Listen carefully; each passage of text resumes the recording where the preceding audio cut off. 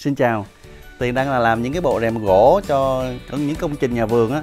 Thì hôm nay anh chủ nhà gọi mình lên, hướng dẫn lại cái cách kéo. Thì tiền quay video lại luôn dành cho những anh chị nào mà có những cái nhà gỗ lớn như nè và dùng cái rèm gỗ này. Thì anh chị xem cái cách mình sử dụng nó rất là đơn giản thôi. Rèm số gỗ mà mình làm á, hầu như là thường nó có hai sợi. Một sợi là mình kéo lên kéo xuống nè, và một sợi để mình xoay lá.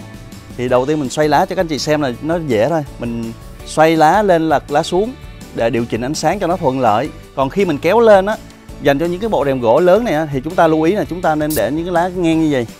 Và sau đó chúng ta sẽ dùng cái dây kéo. Thì đây là cái dây kéo mình có thể cầm chắc mình nghiêng vào bên trong mình kéo. Các anh chị thấy bộ này rất là lớn cao 3m3 và ngang tới ờ, một mét rưỡi lận. Và mình đã kéo các anh chị xem. Nó hơi nặng nha các anh chị. Khi mình muốn ngưng á, thì chúng ta đặt lật ngang thì nó ngưng rồi. Chúng ta muốn kéo xuống thì chúng ta nghiêng dây vào bên trong ngàm ở trên nó bung ra chúng ta thả từ từ từ từ xuống. À, ngàm nó chúng ta cũng nhẹ nhàng thôi. Chúng ta đừng có bung ra cái kịch là nó sẽ giật à, chúng ta thả từ từ giật xuống thả. Mình muốn ngưng tới đâu thì chúng ta đưa vào thẳng và chúng ta ngưng. Lại một lần nữa nè các anh chị à, mình muốn cho nó xuống nữa thì mình nghiêng vào bên trong và mình thả từ từ từ. Tới đây mình muốn nó ngưng lại chúng ta để dây thẳng. Rồi sau đó chúng ta điều chỉnh xoay lá để điều tiết ánh sáng thì đây là cái cách sử dụng đúng và rất là dễ. À, lưu ý là chúng ta phải nghiêng dây vào bên trong khi mà mình kéo thì nó sẽ nhẹ và lật lá ngang. Trường hợp mà khi mình kéo lên mà cái lỡ cái bộ rèm gỗ mình nó không đều nó bị lệch á ví dụ như tiền ví dụ như các anh chị kéo lên gì.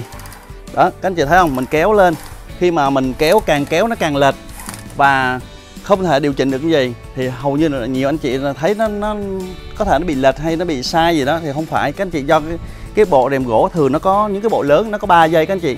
Thì các anh chị phải cầm làm sao cho nó đều 3 giây thì thường nó có một cái khớp các anh chị nếu mà muốn điều chỉnh nó thẳng lại á, thì chúng ta giữ cái khớp chúng ta vuốt sao cho cái dây nó đều.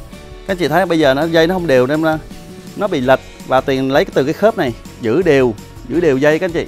À, mình nắm chặt chặt một dây căng và hai dây trùng nè.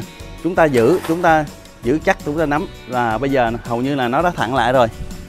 Thường cái này kéo lên thì ít lệch lắm nhưng mà kéo xuống nó lệch bây giờ tiền ví dụ các anh chị.